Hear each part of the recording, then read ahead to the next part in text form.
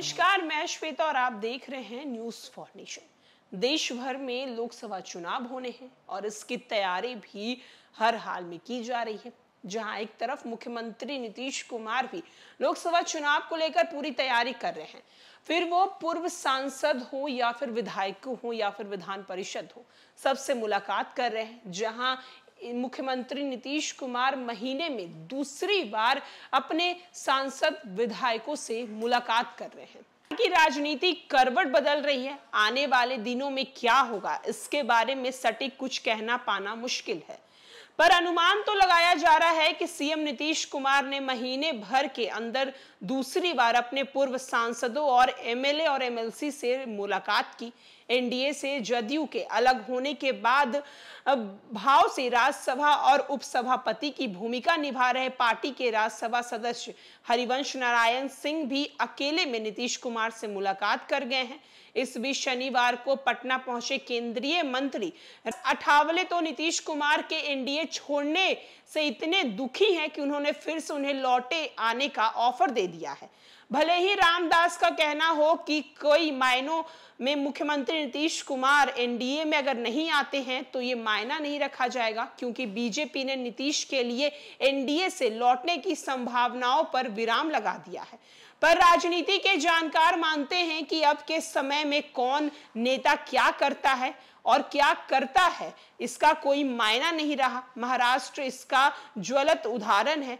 जिस तरह से चाचा शरद पवार का हाथ पकड़कर भतीजे अजीत पवार ने राजनीति की राह पर चलना सीखा, अपने फ़ायदे के लिए पलक झपकते ही उन्होंने लंगड़ी मार दी। झटके में एनसीपी दो फाक में हो गई। संघ के स्वयंसेवक की तरह शिवसेना से भी शिव सैनिकों को कैडर खड़ा किया है। उन्हीं कैडर से एक नाथ शिंदे ने शिवसेना के संस्थापक बाला साहब ठाकरे के बेटे उद्धव ठाकरे को पटकनी दे दी। जहाँ तक नीतीश कुमार का सवाल है तो उनके लिए महागठबंधन छोड़कर एनडीए में आश्चर्यजनक बात नहीं होगी।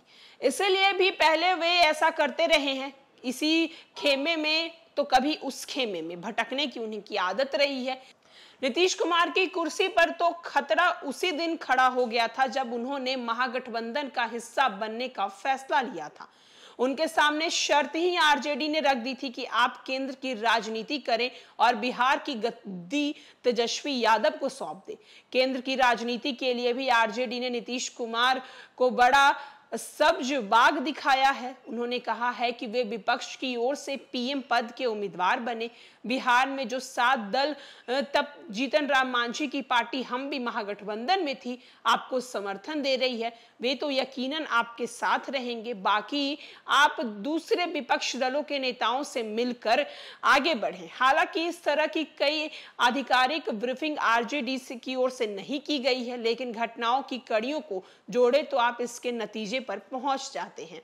आरजेडी के प्रदेश अध्यक्ष और लालू प्रसाद यादव के पुराने सहयोगी जगदानंद सिंह ने मीडिया के सामने कहा था कि नीतीश जी को पीएम बनने के लिए लालू जी ने जीत का टीका लगा दिया है। इसीलिए अब उनके पीएम बनने में कोई रुकावट नहीं आएगी।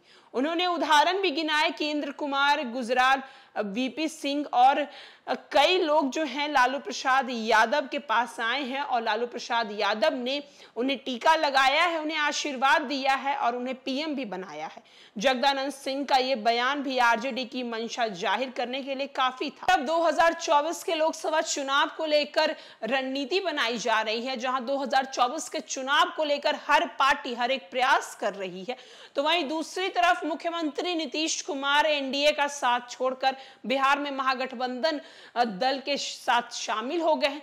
तो वहीं दूसरी तरफ़ कई बार ये बयान भी निकलकर सामने आती है। कई बार लोग बीजेपी की तरफ़ से आकर कहते हैं, अगर मुख्यमंत्री नीतीश कुमार एनडीए में वापस आना चाहते हैं तो आ सकते हैं। वहीं दूसरी तरफ़ अगर हम बीजेपी के तरफ़ से गृह मंत्री की बात करें, अमित शाह की बात करें या फिर बीजेपी के बिहार प्रदेश अध्यक्ष सम्राट चौधरी की बात करें तो वो लोग को साफ़ कहना है कि अब किसी भी हाल में नीतीश कुमार को हम एनडीए में शामिल नहीं करेंगे। लेकिन राजनीति कुछ ऐसी ही होती है कि अगर कोई भी विपक्ष किसी भी पार्टी में अगर सत्ता के लिए आना चाहे तो कोई भी हाथ बढ़ाता है और उस हाथ को सामने वाले लोग थाम लेते हैं। जहाँ एक तरफ़ मुख्यमंत्री नीतीश कुमार एनडीए का साथ छोड़ के महागठबंधन में आ गए तो वहीं दूसरी तरफ़ अब मुख्यमंत्री नीतीश कुमार अपने पीएम की कुर्सी के लिए कहीं ना कहीं लगातार विपक्ष को एकजुट करने में लगे हुए हैं।